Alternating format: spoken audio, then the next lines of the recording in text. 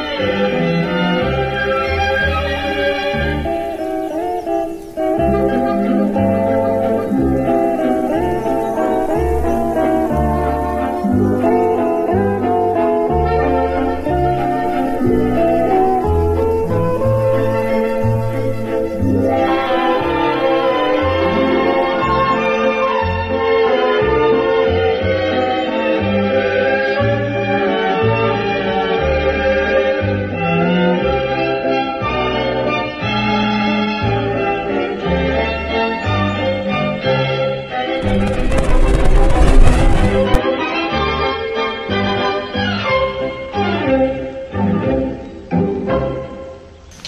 wait for you to see that video. Because that's nice, ain't it?